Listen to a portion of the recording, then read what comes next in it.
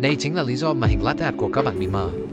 Đây nhá, bạn học viên bạn vừa mới hỏi là tại sao cái cốc của bạn ấy ra cái hình mà nó lại bị mờ tịt như thế này, đúng không? Thì bây giờ vấn đề là như này, bạn ấy vừa mới đổ cốc này là cốc uh, 280 300 ml gì đó, nhưng mà bạn ấy dùng cái ca này là ca 400 và 450 ml là cái ca cỡ nhỏ, thường là chỉ đổ cho những cái cốc nhỏ thôi chứ không bao giờ dùng để mà đổ cốc to cả. Đổ thì đổ được nhưng mà cái lúc mà các bạn vào hình ấy, cái lượng sữa ở trong ca nó còn đang quá nhiều thì các bạn sẽ vào hình và từ cái khoảng cách này là sữa nó đã rơi ra từ cái mũi ca rồi. Nó sẽ dẫn đến cái vấn đề là khoảng cách từ mũi ca cho đến cái bề mặt nó bị xa quá nó làm cho cái hình nó bị chì thế bây giờ có hai cách sửa. Một đấy là các bạn sẽ phải nghiêng cái cốc này nhiều đi. Đó và làm sao để cho cái mũi ca này nó xuống sát được bề mặt nhất có thể. Nhưng mà cái này thì nó hơi khó. Cái cách thứ hai cái cách mà đơn giản hơn đấy là các bạn sẽ dùng ca to hơn. Đó.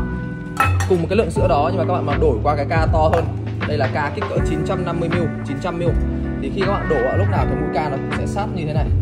Và khi mà sát như thế này thì nó sẽ ra được cái vệt trắng rõ ngay lập tức luôn. Đấy chưa? Thử nhá. Đây, anh thử luôn.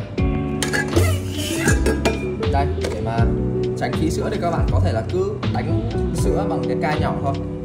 Ca nhỏ này là đánh sữa xong nó cũng sẽ phù hợp cho cái cốc này rồi.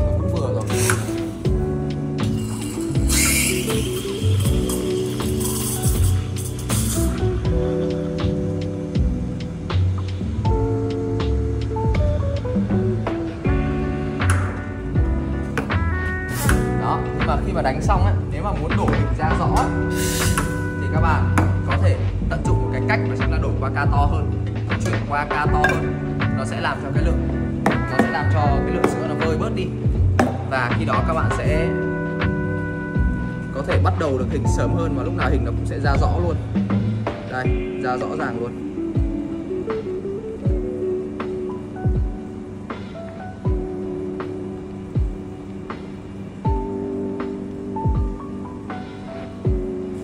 Đó